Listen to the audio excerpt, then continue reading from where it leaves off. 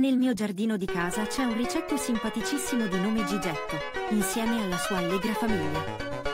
Di notte escono per mangiare i croccantini come se fossero dei cani o dei gatti, scrocchiando con gioia e divertimento.